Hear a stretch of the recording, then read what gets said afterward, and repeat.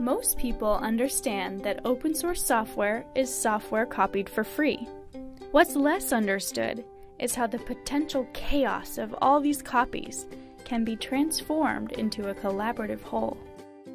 Let's break down how open source works using a family cookie recipe as a metaphor we can all relate to. Just like code, all recipes start by somebody writing the original version.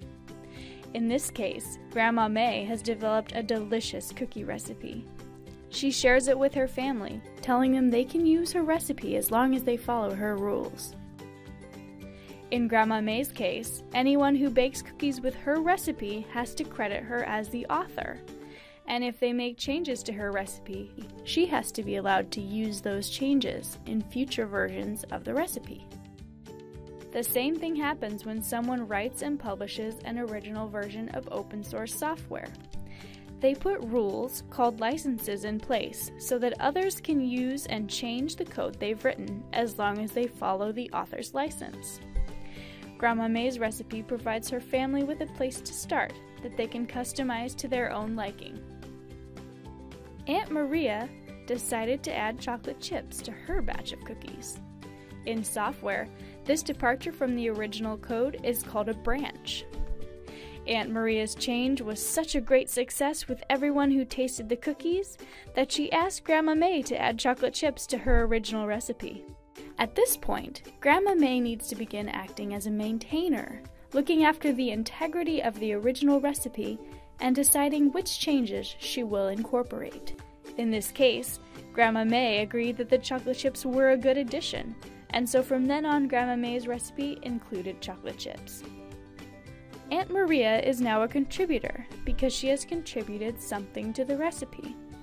In open source software development, this process of incorporating a change or patch into the original code is called upstreaming because it's flowing back to the original source. If the original brand of chocolate chips becomes unavailable, Grandma May is responsible for updating the upstream chocolate chip patch with a new brand because she accepted the patch. The benefits of incorporating your changes into the original recipe are pretty amazing, leading to the popular open source motto upstream early and often. The sooner you upstream, the sooner the community can back you up, not only by maintaining the recipe, but also by testing it in as many configurations as there are community members using it.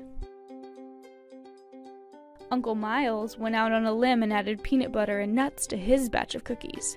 His wife and friends all love peanut butter, so they thought his additions greatly improved the original recipe. But when Uncle Miles tried to upstream his nutty changes, Grandma May, who detests peanut butter, refused to add peanut butter and nuts to her recipe. Uncle Miles resolved to move on with his version of the recipe with no plans of merging the two again at any point. In open source software development, a permanent split like this is called a fork.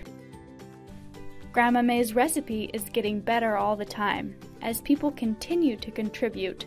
Her family gets to learn from and enjoy the latest and newest cookie recipes as they are created.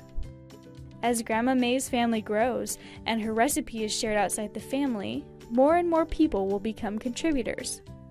As you can imagine, things could get pretty complicated for Grandma May as the maintainer of the original recipe with more contributors. The same is true for open source software. More contributors and more versions of code make it essential that we have a way of collaborating on changes. This is why we need the structure, common language, and roles we just talked about with our recipe example.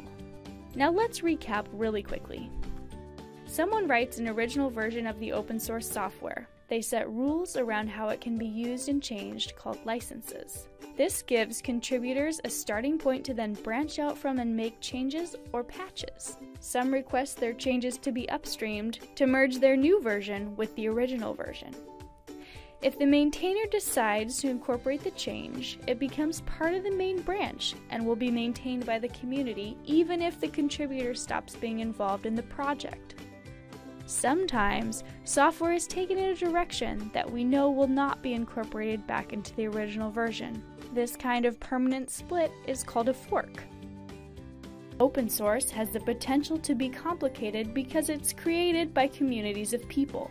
But these ways of working manage those communities, making it possible to benefit from new versions from an authoritative source, the maintainer.